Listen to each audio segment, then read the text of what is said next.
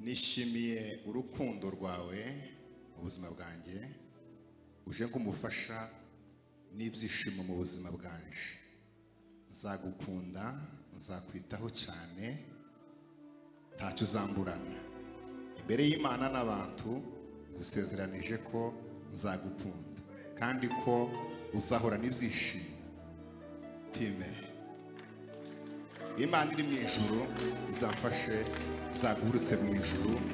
amen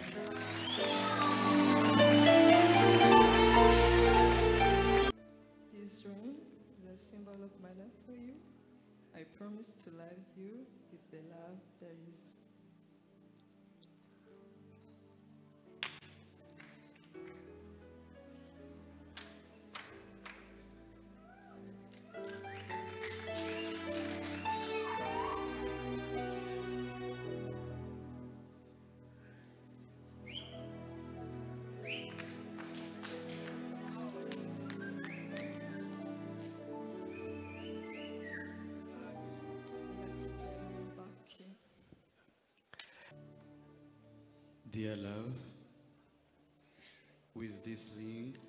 My heart, my soul, and my commitment. I am yours now and forever. I vow to cherish you, respect you, and grow with you, nurturing our love and our bond each day. Together we will build a life filled with joy, hand in hand on our knees, nothing between us, you, me, and Jesus.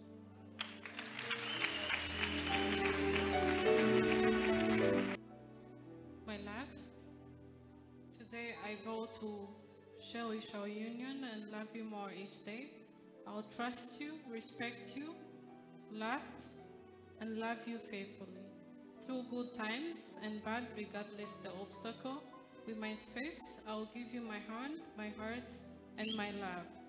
From this day forward, for as long as we shall both live, I love you.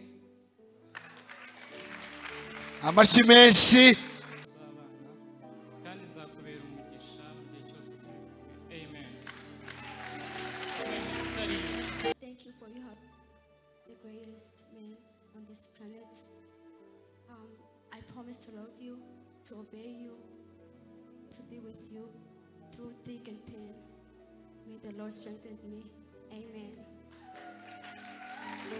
Abagore bose abagore bari hano bose ni nk'aho ba- bamenye uruzungu. Barimo baravuga uruzungu cyane kandi bakaruvuga neza. Reka tubakomere amashyi. Shi bayikoresha bavuga umukobwa. Ni, article femine. Hi bayikoresha bavuga umu umuhungu. Aravuga ngo kuva none sinkira umukobwa mbaye umuhungu. Ababyeyi baravuga ngo ntitwumvishe icyo wabivuga. Bisobanura avuga nti nababwiye ngo kuva none. Ntimukongere kunyita umukobwa mfite basaza banje none mbaye murumuna wabo. Abari barumuna banje none bo ni abakobwa mbaye musaza wabo. Baramubwira ngo bisobanure neza arababwira ngo nababwiye ngo kuva none ndi umuhungu nubwo bitarahinduka mu byangombwa ni byo bizakurikira ningera imyaka cumi n'umunani. Se igihe agihaye atangara nyina yinjira mu cyumba cy'uwo mukobwa. Asanga imyenda yose y'abakobwa yayipasuye. Asanga yazanye imyenda y'abahungu hanyuma ikindi kidasanzwe. Asanga yaguze ubwa hari ibintu bisa n'ubwanwa bazagura bakitera. Asanga hari imiti agiye ngo ahaya ngo yari ku binini bihindura ijwi ryiwe. Ari nk'umukobwa wawe byogenda gute? Niko nabwiye abantu. Nyamara ibi bintu birahari. Kandi biragwiriye biratangaje. Nganira n'uwo mukobwa shaka kugira ngo muganirize arambwira ngo uburenganzira bwacu muri iki gihugu ntibunyemera ko ngusubiza. Numbaza ibibazo bikomeye uri n'umunyamahanga. Ndahamagara inzego zibishinzwe. Murumva? Aho ngaho ni ho usanga umugabo n'umugabo babasezeranyije hari kampani iri muri amerika muri iyi minsi y'abaperezida babiri bahaye biyamamaza cyangwa abakandida babiri. Umwe ni umugore agiyeho muri iki cyumweru undi ni umugabo muramuzi. Ikintu gikomeye banyuranyijeho ni ibintu bibiri bikomeye. Uretse z- cyane cyane ah, z'ibintu by'imisoro. Z'ibintu by'imisoro. Uburyo imisoro ikoreshwa mu gihugu cyabo icya kabiri gikomeye ni uburyo bafashe urushako rw'ababana bahuje ibitsina n'uburyo bafashe gukuramo inda. Impamvu buriya ndamuvuga mu izina kuko sinari kumufana ariko kubera imyizerere yiwe ndumva ariyo kandi iyo nje kubutora ni we nari gutora. Ni uko Trump avuga ngo umwana uri mu nda nubwo ataravuka ni ikiremwa cubahwe mutegereza azavuke kuko iyo ababyeyi banyu bagira uburenganzira bwo gukuramo inda zanyu ntimwari kuvuka icya kabiri nta rushako rw'umugabo n'umugabo n'umugore n'umugore. Biriya haye avuga niyo mahame ya gikirisitu.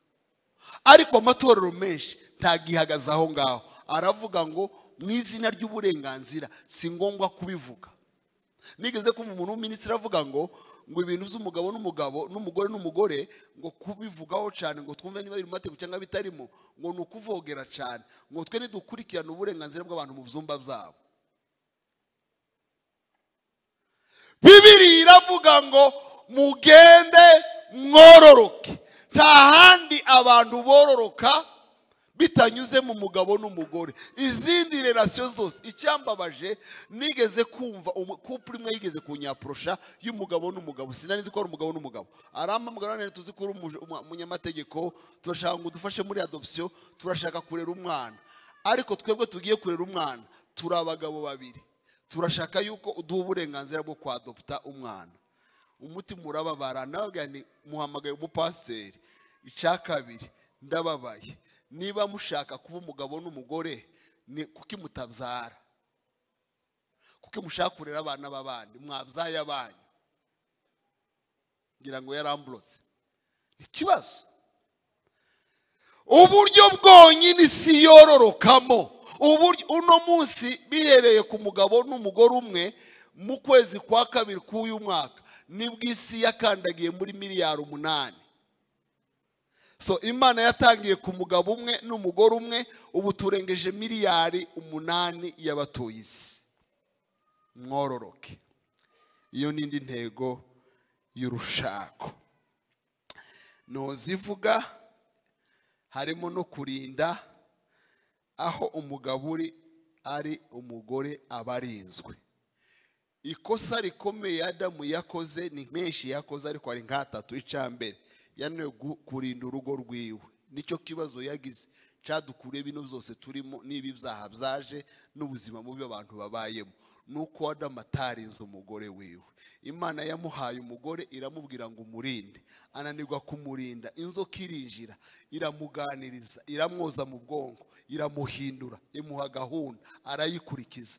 Ananiwe kurinda urugo. Niyo mpamvu edeni yari yinjiyemo ari umutunzi ari nyiri ibintu byose bituye muri edeni. Amashamba yose ari aye ibiti byose ari iby'iwe inyamaswa ari iziwe ubutunzi bwose ari ubwe. Ndetse no munsi y'ubutaka amabuye y'agaciro ari iby'iwe.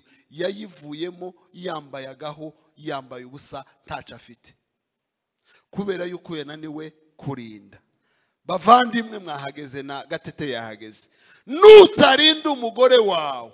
Uzaba uri muhuje intego y'imana kurushako njya mbwira abantu iyo muzabirebe iyo umugabo atakiriho umupfakazi ni we muntu uri vulnerable. Abantu benshi barabizi muri site zacu ni cyo gihe inka ziwe ziribwa atavuga.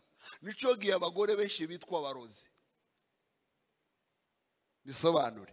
Ni ukuvuga ngo baramuvogera ba- ba- bakamuvogera umutungo bakawurya yavuga ijambo rimwe bakavuga ngo ni umurozi. Iyo bavuze ngo ni umurozi basigara bazirya nta ruvugiro. Kubera iki? Uwari umurinzi we uwari umurinze yari ingingirizi urwara uruzitiro izari imbaraga zimurinze zavuyeho. Bivuga ngo mu mugambi w'imana umugabo ni uburinzi bw'umugore. Mubyumve no mu mwuka. Mu buzima bw'umwuka n'iyo umugabo adahagaze neza mu mwuka urubugo ruba rwinjiriwe. Muzarebe ingo zirimo abagabo baba b'abapagani. Biragoye kugira ngo umugore azakomere mu gakiza. Ariko iyo umugabo yakomeye neza mu gakiza biragoye kugira ngo umugore azabe umupagani. Navuga intego zo ni nyinshi nk'icyenda. Naringeze ku ya kangahe nk'iya gatanu. Wenyine navuga kugira ngo zisige aho ngaho ni ugushushanya kirisito n'itorero. Umugabo n'umugore ngo ndi ku imana yabaremye mu shusho ya kirisito nyambwira abantu bibiliya ni igitabo cy'ubukwe gitangira mu bukwe kikarangira mu bukwe. Gitangira ari ubukwe bwa adamu na eva kikarangira ari ubukwe bw'umwana w'intama w'imana. Nubireba bibiliya uko igenda ivuga ni ubusabane. Kandi ubwo busabane bushushanya kirisito n'itorero. N'uyu munsi ubu twaje. Twaje kwishimira aba bantu bafite amakwe yego. Ariko twaje mu kwitoza kuzabana na kirisito kuri uyu mugeni mwabonye yinjira umugabo amukunze. Abantu bamubyina niko abamarayika bazaba batubyina twe na kirisito twabaye umugabo n'umugore. Bivuga ngo iki kintu nagikunda cyane ni ishusho ya kirisito nushaka kureba ishusho ya kirisito mu isi uze ureba urugo rumeze neza. Aho abantu baba umwe buzuzanya ibintu bimera neza haba amahoro bubaka urugo rutavogerwa. Uwo ni wo mugambi wa kirisito n'itorero. Nabivuga ijambo rya mbere nagomba kuvuga ari ryo kuvuga ngo intego z'urushako ni izihe? Ni izo mvuze izindi zizavugwa ikindi gihe? Ariko murazisanga muri cya gitabo. Cya kabiri ni ibiki bizabafasha kugira ngo mugire urugo rwiza? Ndabivuga nihuta gusa nishaka simbisobanura kubera umwanya. Ni byinshi cyane Ah, muri kiriya gitabo nanditse cya mbere kirimo ibintu nk'icyenda ariko sinabivuga byose reka mvuge nka bibiri cyangwa bitatu. Ndangira aho ngaho nakuza amagambo yose yavuze ngo se ntimwumvise yuko kuva mu itangiriro imana yavuze ngo iyabaremye mbere na mbere yavuze ngo ah, ni cyo gita umuntu azasiga se na nyina bose bakaba umuntu umwe. Iri jambo bishoboka gusa iyo kondisiyo ya mbere yujuje iyo harimo urukundo kugira ngo urugo rube rwiza. Point ya mbere ni urukundo. Niyo mpamvu mu nzandiko nyinshi paul yagiye avuga ngo bagabo mukunde abagore banyu. Ndetse agashyiraho standard akavuga ngo nk'uko kirisito yakunze itorero. Ntabwo ari ugukunda ko muri iki kinyejana. Nabonye ikintu kigoye kudefinisa muri iyi minsi ni urukundo. Kubera yuko rwahindutse ama emojis. Emojis ni twa tuntu ngo bita umutima ducuramye. Kera twatwitaga kopa eh, turiya tuntu twa kopa ah, na muzungu niba ari uwa kangahe two- mu makarite twakinaga. Iyo umuntu atukohereje cyangwa afashe ifoto yawe agashyiraho kariya kantu bavuga ngo yavuze ko agukunda. Wagira ikintu kuri interinete agakirikaho ngo ni like. Nuko urukundo ruri egisipurime muri utwo tuntu abantu bakavuga ko bagukunda ntabwo ari urwo rukundo. Namenye yuko urukundo ari cyo kintu kigoye kudefinisa niyo mpamvu imana yacyitondeye. Bibiri iravuga mu gitabo cy'abakorinto ba mbere igice cya cumi na gatatu idefinisa urukundo narayitinya iyo ivuga urukundo izivuga ngo urukundo ika- ikagenda iruheza ibiruranga rurihangana. Niba hari ikintu kigoye mu ngo ni ukwihangana rugira neza ni ukugira neza. Kuko abantu benshi inkundo ziriho ntizihangana ntizigira neza. Nishaka mberaho gusa. Ntizihangana kubera yuko umuntu aragomba aravuga ngo wa mugabo sinkimwihanganira ngo ari mu gutaha atinze. Nicyo gusa ni cyo gusa. None ndatashe mvuye mu rugo. Uvuye mu rugo kubera iki? Ngo ataha atinze. Hari uherutse kumpamagara niyo mvuze gutyo nta muntu mba mvuze mu izina ariko nyine murabyumva ko hari niba ari na hano yihangane sinamuvuze mu izina kandi sizamuvamo. Arambwira ngo umugore we ngo amaze nka gatatu ngo ataha nyuma ya saa tanu ngo ntazi gahunda ziwe. Ngo none uburyo bwiza ngo namusize mu nzu. Reka ntibyoroshe turinginga turinginga turinginga turinginga n'ubu byaranze ngo ndashaka kumuha uburenganzira ngo aze ataha igihe ashakiye arashaka kujya ataha igihe ashakiye simvuze ngo uwo mugore karakora neza. Atoro simvuga ngo gutaha utinze mm, ariko ndavuga ngo niba utihangana ntiwari uteguye gushaka. Ubundi urukundo rurihangana. Kandi rwa rukundo rwa kirisito wihanganira umunyabyaha. Muzi ibintu kirisito yatwihanganiye. Yakunze itorero. Ngo azaryishyira ridafite umugayo.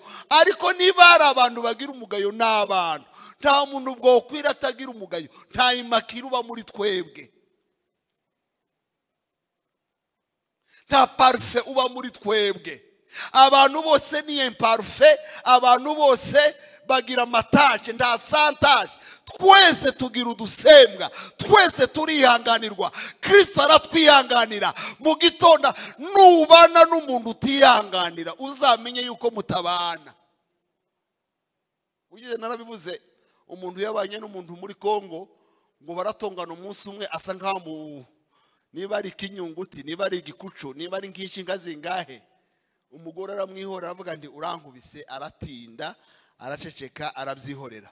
Baraza mu rwanda imyaka itari mikeya babanje muri kongo bukavu baba mu rwanda indi myaka itari mikeya baza kunyura muri bihugu duturanye nabo barahaba.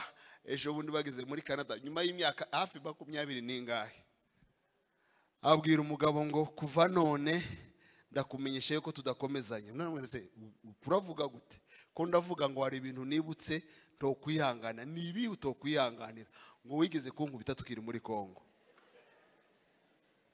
Urugo rwarahagaze. Babwiye ukuri kose ko mu ijoro umugabo agahamagara ni mumbarize uyu muntu icyo dupfa. Kuva ageze muri iki gihugu sindabangura inkoni sindavuga ijambo ribi sindanamutunga no kuri telefone. Ariko karanziza gahunda zo muri kongo. Urukundo rubabarira byose rwihanganira byose. Oh haleluya ntirwikunda ntiturebe inyungu zarwo. Abantu b'iki gihe ntibagikunda. Nta jeteme ikibaho ahantu henshi. Hari jememe abantu bahinduye konjigezo ntibagikonjiga jeteme basigaye bavuga ngo jememe ndikunda. Ni uko babayeho. Mwe yarambwiye arambwira ngo kubera igihugu atuyemo ngo ngiye kubana nawe. Niyo mpamvu bari kugera muri biriya bihugu yamara kuhagera akamubwira ngo nari nkunze amerika si wowe nakundaga. Yari jememe. Burya nakubwiraga za jeteme uzi konversi ntazigeze zibaho. Habaga jememe ni jewe n'inyungu zanje. Duhindure mbabwire iki kintu turi generasiyo yitwa mi generation. Yikunda. Iyo kirisito yikunda biravuga ngo ntiyabonye yuko kubana n'imana ari ibintu byo kugundirwa. Iyo kirisito yikunda twari kuba turi abandi. Kirisito yaradukunze biravuga ngo ahari umuntu yakunda umukiranutsi ngo ariko tukiri abanyabyaha kirisito yaradukunze. Ndagira ngo mbabwire ngo tugarure urukundo twubakire ku rukundo kandi urwo rukundo si urwo twebwe twihimbiye si urwo twebwe twatekereje si ubwo isi tubwira kureberaho. Ni sitandare kirisito yashyizeho ni kirisito n'itorero nitugenda nka kirisito n'itorero tuzihanganira. Byinshi biravuga ngo urukundo rubabarira ibicumuro byinshi. Nawe urabara amakosa? Ni uruhe rugo? Nimo kumva abantu umuntu yarangiza bakabesha kandi tukabakomera amashyi tukavuga ngo bamuhamije. Umuntu akaba ngo jewe n'uyu muntu twabanye imyaka mirongo ine ngo nta jambo na rimwe ryigeze rihaba uratubeshe. Urugo ngo rutigeze rubamo ijambo. Cyandika kiriya gitabo imwe mu mateleviziyo yara- yarantumiye hano mu gihugu basanga muri harimo shapiti navuze yo gukemura amakimbirane. Barambwira ngo ese urugo rw'umushumba nawe rubamo amakimbirane? Bari bategereje ngo mbabwire ngo ntayo. Ibe titire ikomeye ivuga ngo tubonye urugo rutaba amakimbirane rwubaho uzi ko umugore kugira ngo mu- mukimbirane ntibisaba ibintu bikomeye utuntu dutoya. Kandi tujya tuba iwanyu mbabwire utuba iwacu. Hari igihe ngera mu rugo nagera akana ngira akana gakunda umupira iyo iyo- iyo yahuye n'igikombe cya plastique aza akigira umupira. Niyo nkabona se wa dani igikombe kibaye umupira uri muzima. Mama we agahita abwira ngo ese wowe uri muzima kurabwira umwana ngo ni muzima. Kurabona atari muzima. Kandi uko muri mu kiganiro nta bifu nta kindi kibazo dufitanye. Kurahana umwana gute ngiye guhana umwana urahagurutse. Ayo none se wowe si ko wari umeze ukiri mutoya. Uranzi nkiri mutoya. Urumva deja bya nuko na- nako. Uzubona atameze nkawe. rero abanyarwanda bivuze neza ngo ntazibana zidakomanya amahembe. Hari kupure imwe y'abashuti banje hariya ni n'abana banje babajanye kuri televiziyo ejo bundi umunyamakuru aramubwira ngo namwe mugira muzamugira ibintu mupfa nyirasafa kuko biri kuri social media nta mpamvu yabyo yo kubihisha. Aravuga ngo oya ntabyo. Umugabo aravuga ndi hari utuntu tubifi tuza. Nyamara bavuga yuko mu kinyarwanda ntazibana zidakomanya amahembe. Nyirasafa ngo oya ye ni ukuri ngo je nta mahembe ngira. ego amahembe tuvuga sa- sariya ya sariya y'agakoro canga y'akagari canga canga oya sariya ya kandi ariya buriya niyo yoroshe. Buriya ihembe ribi ni ijambo. Niba hari ikintu ucisha ingo nishi ni imisare y'amagambo. Umugabo yarambwiye ngo navuye mu rugo ikintu canguyemo. Ngo umugabo umugore yarambwiye ngo wa mwanda we. Ngo kuva umunsi ambwira ngo wa mwanda we nabonye atari byo kwihanganirwa ndagenda. Iryo ni ihembe riremereye. Iravuga ngo nimurakare izuba ntirikarenge. Naringiye kuvuga urukundo niyo mpamvu pahoro ah, mu ba efesi cya gatanu makumyabiri na gatanu avuga ngo bagabo mukunde abagore banyu. Numva bamwe bashaka kuvuga ngo urabona ngo abagore nibo bagomba gukunda ngo abagore bo bakaganduka. Oya urukundo ni two ways lane ni umuhanda wi- w'imi- w'imiyoboro ibiri. Ntiwokunda utagukunda ngo bikunde. Ntabwo rusabwa umuntu umwe. Abagabo bagomba gukunda n'abagore bagomba gukunda. Kuko ntiwokubaha utagukunda kandi ntiwokunda utakubaha. Iyo iyo iyo yari ikintu kimwe ryari ibanga rimwe. Irya kabiri ndayihusemo asigaye ni trust icyizere. Ko ndatinya kukivuga cyane ariko mbaho ingero z'abantu turi mu guhura nabo. Umugabo yarampamagaye arambwira ngo umugore nashatse ngo ntanyizera ngo kandi ngo mereye nabi ko numva ni nkaho ntazanye umugore ngomba gushaka. Uwo muntu namubwiraga turi muri amerika. Umugore we wari hano. Ngo iyo umugore amuhamagaye ngo azamubwira ngo uri kumwe nande? Uzi guhamagara umuntu ukamubwira ngo uri kumwe nande? Niyo umubwire yuko nije nyine ndi kumwe n'umuntu n'ubundi ntabibona ariko ijambo ryose uri kumwe nande? Nakuje kujana na runaka. Aho uzofuhira umuntu mutari kumwe? Njya nkunda kubaza abantu iyo mbaye mbigisha. Nkababwira ngo se ninde uzufuhira mugenzi we cyane umwe akamubwira ngo ni runaka. Ngo azambwira ngo nimwereke screenshot ya telefone ari hanze. Ngo akambwira ngo ninde twa- ninde twasangiye. Akambwira ngo uri kumwe nande. Akambwira ngo ngo ni- ngo nishire telefone kuri video ngo abone abo turi kumwe. Murumva ukuntu bimeze? Biragoye. Ni ukuvuga ngo niba kwizera nari zeru urugo ntiruriho. Igihe abantu batizerana. Ukunda umuntu aramwizera. Nutizera umugabo wawe birapfuye. Urugo ntiruriho rwubakiwe ku cyizere n'urukundo. Iyo utizeye umuntu ibintu byose wabimukekera. Niyo mpamvu abagore bamwe babaye abashinjacaha azamubwira ngo wari kumwe na runaka kandi. Runaka kandi mwongeye kuvugana. Wongeye kuja ahandi. Urimo urakonfirima ntuwaye ubaza. Kandi buriya umuntu yobana n'undi akarinda umutima wiwe. Ku rundi ruhande. Umuntu yokwereka ko muri kumwe mutari kumwe. Abana benshi ntibangiritse bari hanze ku mihanda. Ubu ngubu hagezweho kwangirikira mu byumba. Umuntu yarambwiye ngo unsengere twatewe n'icago. Ngo umwana wanje yagiye mu cyumba arifungirana. Ngo azaja kuri ipad. Akirirwa aho ngaho n'amasaha yo kurya ntarye. Abana benshi bararukiye mu byumba. Kera bararukiraga mu mihanda. Ubu bararukiye mu byumba. Abagore benshi ntibisaba ko waje hanze kugira ngo aguce inyuma. Telefone barimo barazisambaniraho. Ndabibwira abantu ndabizi nizo ntambara dufite. Buriya abashumba bashumbye muri gihe cya mbere muze mutwumva ko turavuga ibintu mwebwe mutumva. Iyo umuntu akubwira ngo mbana n'umugore uba kuri telefone. Aza acatinga n'umugabo wo hanze. Saa munani za nijoro aza abyuka akaga nicura ngasanga ari kuri telefone. Ko baroherezanya amafoto batambaye. Ntibyinjiye ba? uzi ko n'abashumba hari amafoto y'abashumba. Ari kuri social media. Umugabo w'umushumba uri kumwe n'umugore wiwe bakakubwira ngo iyi foto ni iya runaka yayoherezaga ihabara ryiwe. Isi irasinze.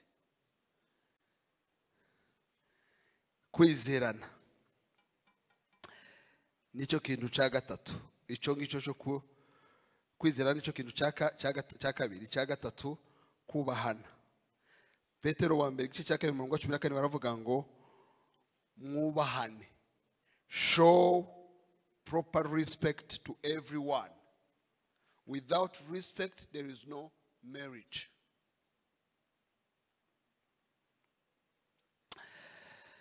Kurya ufata mugenzi wawe niko gutera uko azagufata nta mugore woba mu rugo ahora ari insuzugurwa atagira ijambo. Ngo azarubemo arugiremo amahoro. Uzi ko abagore benshi ngiye gukoresha ijambo numvise ndaryumva cyane umuntu uyobora hoteli aba akomeye akajya kungurira ko murumva ari uko ari aba uno munsi mfite ibyishimo byinshi. Mwanyemera tugakomera imana amashyi ku bw'aba bantu.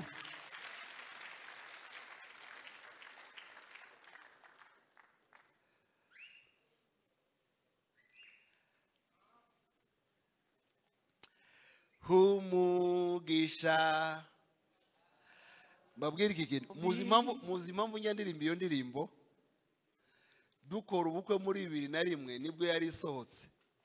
Aba ariyo baturirimbira bayishyira muri videwo yacu. Iyo nshatse kwibuka uko twari tungana uko nanganaga nkiri agahonje niyo nza mpura na yo. So muyiririmbe muyinyibutse. Sibyo? Dutegereza ko bagera. Murayibuka. Ego.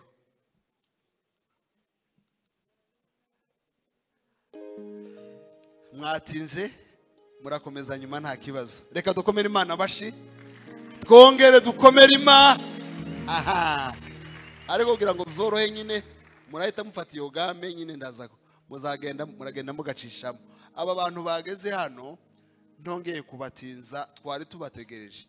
Imiryango yari ibategereje n'umwuka wera yari abategereje. Imana yabahuje yari itegereje uyu munsi. None ko ndabona bahageze. Ariko gusa ikibazo mfite simbaye menya niba buri muntu wese ari kumwe n'uwo bagombaga kubana. Simbaye mbimenya iyo nja kuba nabimenye byari guhita binyura nkavuga nti tubirangize tubasengere. Ariko kubera yuko ntabimenye ko ndabona hari abantu mbona neza nkabona abo ntabona neza. Reka mpere hano. Kimazi arebe uyu muntu niba ari we. Kandi ntamureba atwikiriye. Biravuga ngo aramutwikurura nabona ari we. Akora ikintu gituma abantu bose bamenya yuko yabonye ko ari we kandi yamwishimiye. Na- narangiza barakurikira nabo bakurikire.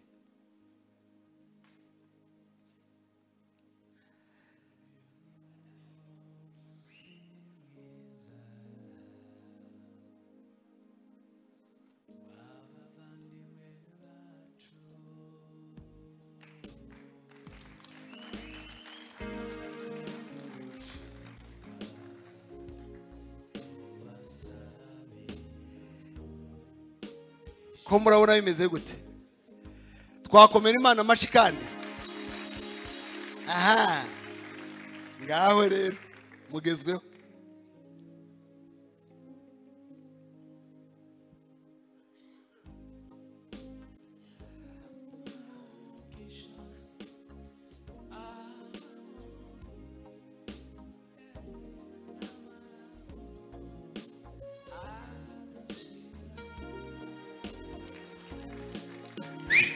Yabanje kundeba ngo arebe ko mu uburenganzira mugenzi we yamaseka arasetse kabisa asa na na eva. Ah, aha hano.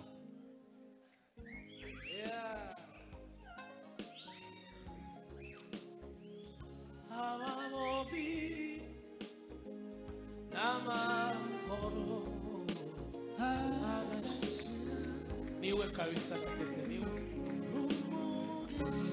wow. Twokomera imana amashyi cyane. Ba basore bose bahise baba inzobe. Barakeye ko baraseka abo bari kumwe ibitwenge byabaye byinshi. Dukomere imana amashyi cyane. Reka mpere hano. Umuryango wa gatete uwa nyuma azaba uwa mbere. Ehe.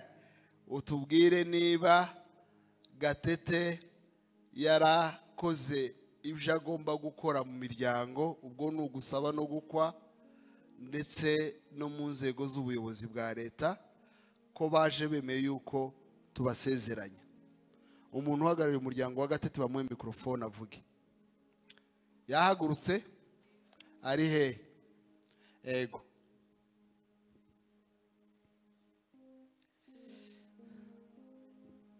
Yesu ashimwe Eh, gatete rero twaramusabiye cya kabiri yarasezeranye amategeko ya leta ndetse no ku ruhande rw'ababyeyi turasaba turakwa.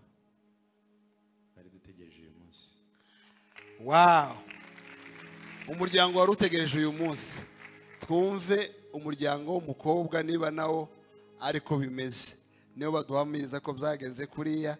Ko nabo uyu munsi nta nzitizi baje biteguye yuko bikorwa gutyo.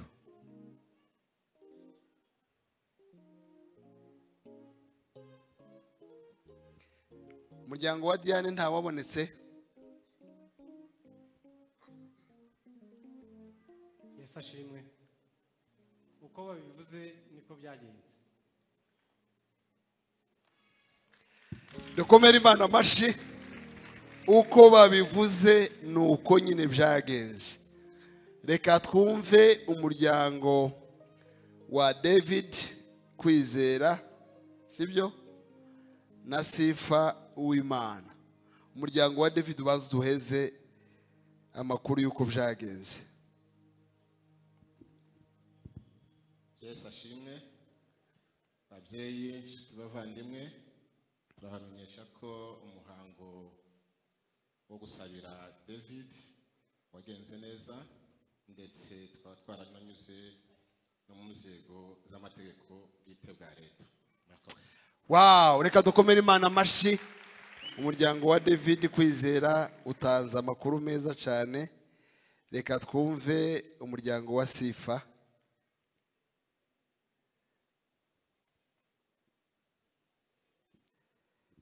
Sibyo? Urahari?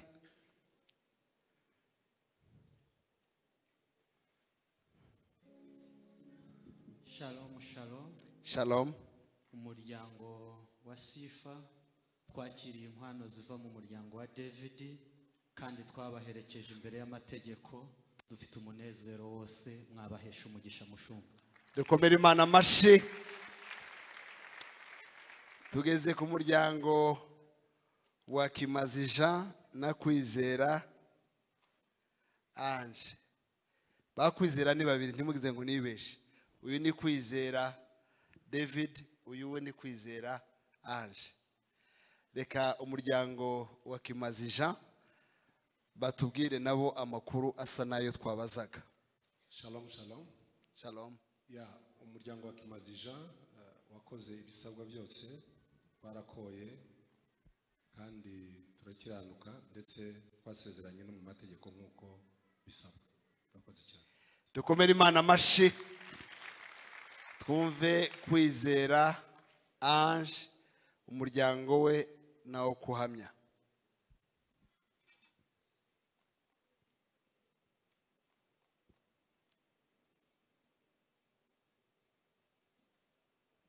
Murakoze umuryango wa kwizera anje twakiriye inkwano twarashimye kandi n'ubuyobozi barasezeranye. Icyaburaga ari umugisha w'imana uca muri wowe.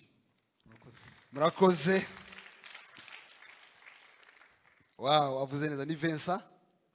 Vincent ni inshuti yanjye twariganye. Ndabona yatanze umugeni. Reka dukomere imana amashyi ku bw'uyu muryango. Ubundi amakuru nk'aya ngaya iyo tumaze kuyumva turavuga ngo aseke runaka adi jenajute rien. Runaka mwamvuse musimbuze nyine bariya abantu bagiye bavuga ko bemera yuko tubasezeranya ubwo rero ndashaka yuko kimaze ijambo amuheza urupapuro asoma ndetse na kwizera anje bafate na kwizera david na sifa waheze impapuro na gatete nande na diane babaheze impapuro. So muri mara kubaha impapuro buri muntu arasoma ibyanditse kuri urwo rupapuro nyuma yaho ndababwira ibikurikira. Reka kimaze ari we baheze urupapuro rwa mbere ari we ubanza gusoma.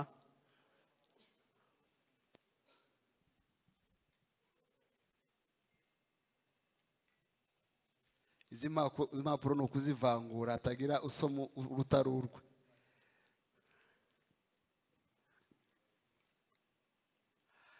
Umuntu yagiye gusezeranya hagati aho igihe babaha impapuro yagombaga gusoma muri yohana wa mbere igice cya kane umurongo wa cumi na gatandatu bavuga ngo mu rukundo hari kwizerana nta bwoba buriho. Aribesha ntiyavuga yohana wa mbere avuga yohana kane cumi na gatandatu. Avuga ngo wari ufite abagabo batanu n'uwo muri kumwe se? n'uwo muri kumwe si uwawe. Kubera yuko atavuze yohana wa mbere yavuze yohana w'umutume cyangwa w'ijiri ubu rero murebe hatagira usoma ibitari ibyiwe akaba ashinje umuntu ku ya kima bimeze neza? Ko urumva wasoma. Baguhe mikorofone rero. Jewe kimazija nguhisemo wowe kwizera ange ngo umbere umugore w'isezerano imbere y'imana n'imbere y'itorero ryayo ngusezeranije ko nzagukunda ko nzakubaha kandi nkubahishe muri byose. Turwaye cyangwa turi bazima dukenye cyangwa dukize ndemeza ko tuzabana akaramata ko nta kizadutandukanya kiturutseho. Imana imfashe kuzasohoza iyi ndahiro. Wawu dukomere imana amashyi cyane. Twumve ko kwizera anje abihamya nabihamya mwibwirize. Ayo mashyi ndimwongera kuyasondeka. Kimaze ise nawe ni ukumufatira mikoro yaramufatiye umufatire komeza kandi ubizakomeze Njyewe kwizera ange muhisemo wowe kimazizo umbere umugabo w'isezerano imbere y'imana n'imbere y'itorero ryayo usezeranyije ko nzagukunda ko nzakubaha kandi nkubahisha muri byose turwaye cyangwa turi bazima dukenye cyangwa dukize. Ndemeza ko tuzabana akaramata ko nta kizadutandukanya kinturutseho imana imfashe gusohoza dukomere imana amashyi cyane.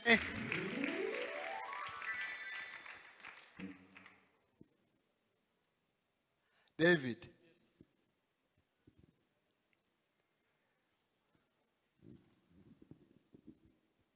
njyewe kwizera davide ngwisemo w'imana sifa ngo umbere umugore w'isezerano imbere y'imana n'imbere y'itorero ryayo ngusezeranyije ko nzagukunda ko nzakubaha kandi nkubahisha muri byose. Turwaye cyangwa turi bazima dukenye cyangwa dukize ndemeza ko tuzabana akaramata ko nta kizadutandukanya kinurutseho imana imfashe kuzasoza indahiro.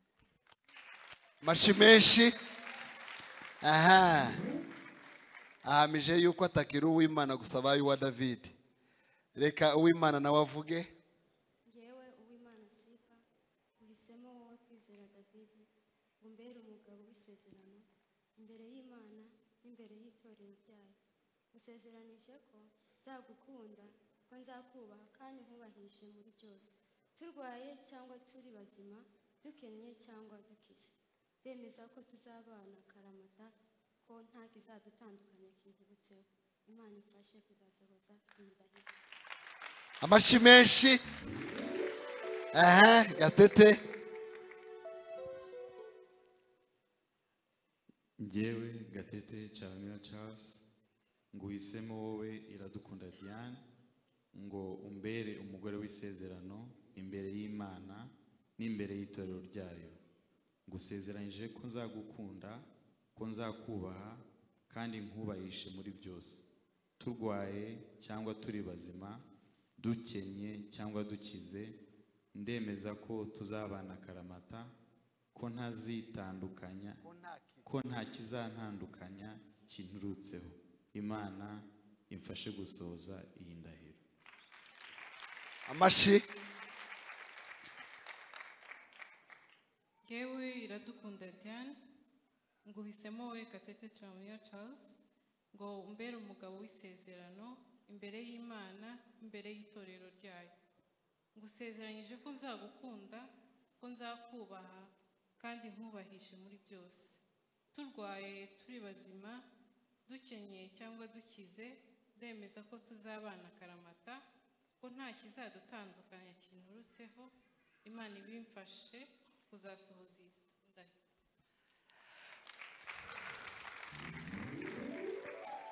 okay amashi makeya mwayakubise tuyahuze yose tubakomere bose amashi cyane twongere tubakomere amashi cyane ubu rero mfite uburenganzira bwose. Aya ni amagambo twabateguriye barayemera barayavuga n'indahiro. Ngiye kubasaba yuko noneho babwirana yabo cyangwa ntibabwirane. Ni uburenganzira yuko bayavuga tukayumva. Cyangwa bakavuga yuko tutayumva bakaba babwiranye. Bashobora no kutavuga. Bashobora no gusirimba sibyo cyangwa bakavuga mu ndimi. Aha mikorofone hano. Araba mwambika impeta. Urafata impeta rero. Ah, umwambika impeta nushaka kuyivugiraho amagambo urayavuga. Nushaka gusa kumwambika impeta utavuga uraba wahisemo kutatubwira.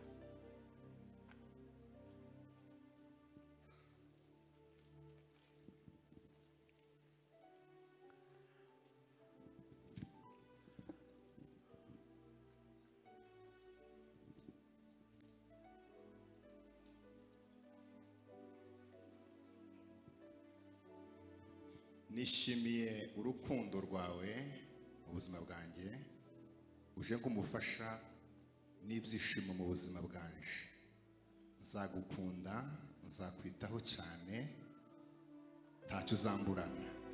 Imbere y'imana n'abantu ngusezeranije ko nzagukunda kandi ko uzahorana ibyishimo.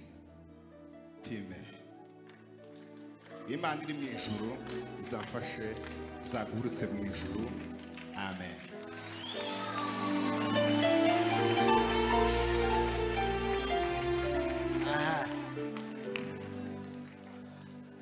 Uzatinye umuntu usoma nka zaburi akagira akavuga ngo sera akongera agakomeza.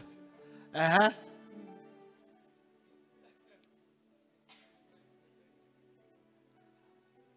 impeta ya anje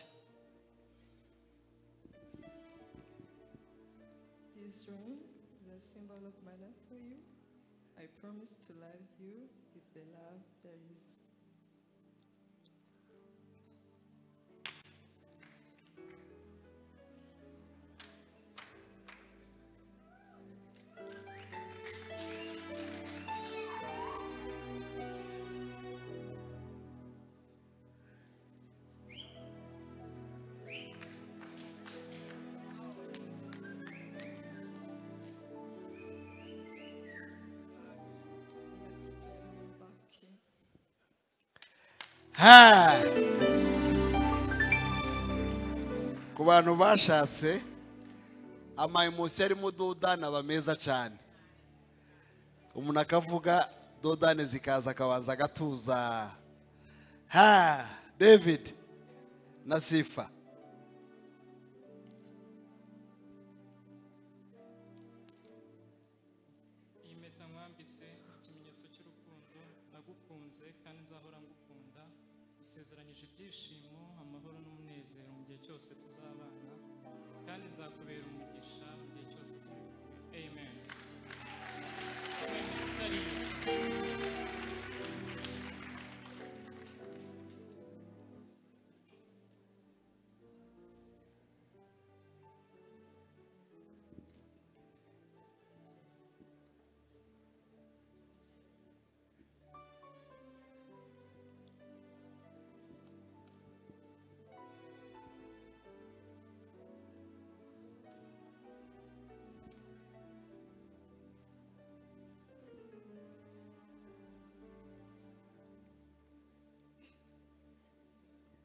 Thank you for you are the greatest man on this planet. Um, I promise to love you, to obey you, to be with you through thick and thin. May the Lord strengthen me. Amen. abagore bose abagore bari hano bose ni nk'aho ba- bamenye uruzungu barimo baravuga uruzungu cyane kandi bakaruvuga neza reka tubakomere amashyi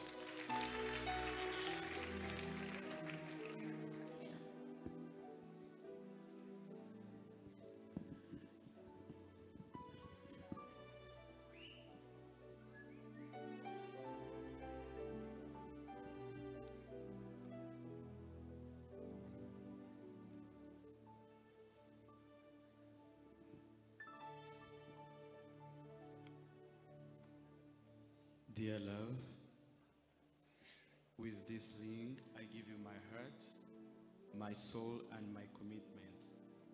I am yours now and forever. I vow to cherish you, respect you, and grow with you, nurturing our love and our bond each day. Together we will build a life filled with joy, hand in hand on our knees, nothing between us, you, me, and Jesus.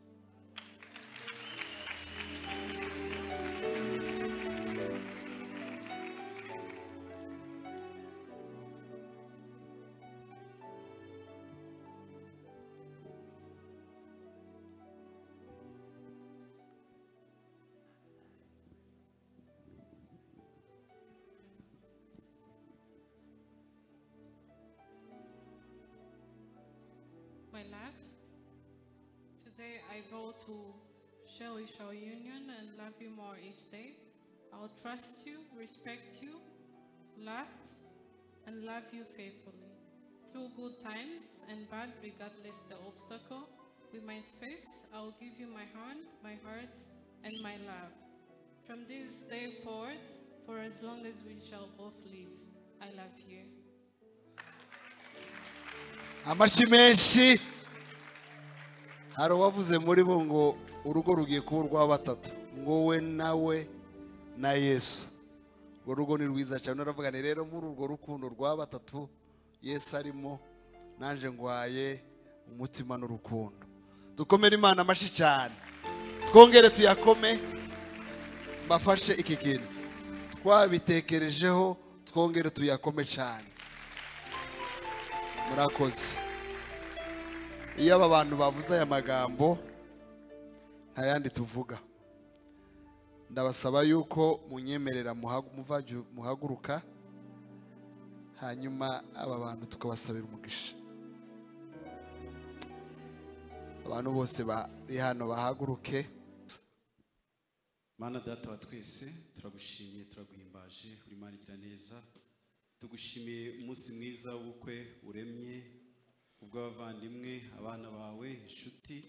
Turagushimiye mwa imana yacu ko ubukwe ari ikimenyetso cy'ubuzaba mu ijuru. Beze batunganye bakomereza amaboko biteho mwa imana yacu barere mu izina rya yesu kirisito reka umwuka wera abane nabo mu ngo zabo kandi icyo bakeneye cyose bagiye bakigusaba nk'imana yabigira neza reka mwa imana yacu ukomeze kububaka ubakira ingo ubakira umuryango kandi ukurire muri wowe ukure mu gakiza kawe. Buzuye ijambo ryawe bagendana naryo bayobowe n'umwuka wera mu buzima bwabo bwa buri munsi ibyo tubisenze mu izina rya yesu kirisito umwami wacu. Amen. Reka dukomere imana amashyi. Umugisha wa aburahamu. Umugisha wa isaka. Wo gusibura amariba umugisha wa yakobo. W'izina rikomeye. W'imiryango migari. N'umugisha tubonera muri yesu wuzuye ibane nawe none n'iteka ryose. Amen. Dukomere imana yacu amashyi. Reka babahagurutse. Abashumba bakiri hano babasuhuze. Ndaza kuvuga ijambo rya nyuma abashumba barangije kubasuhuza.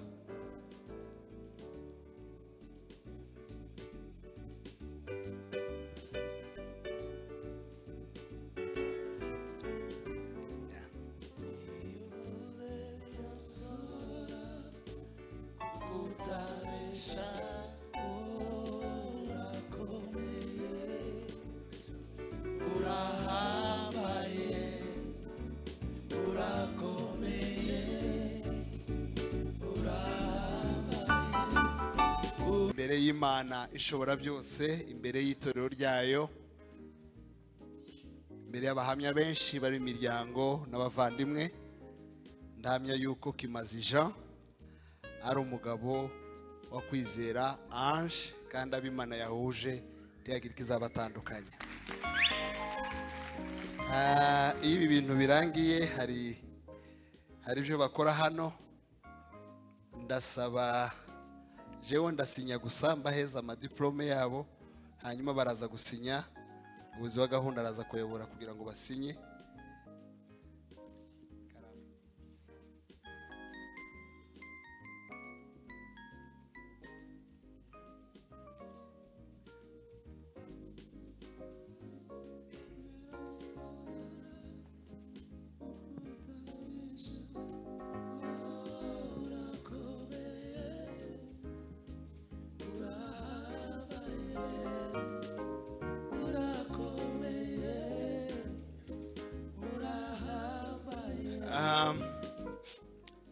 Izi diplome ngiye gutanga sinshaka kuvuga kuri buri yose kuko zisobanura ikintu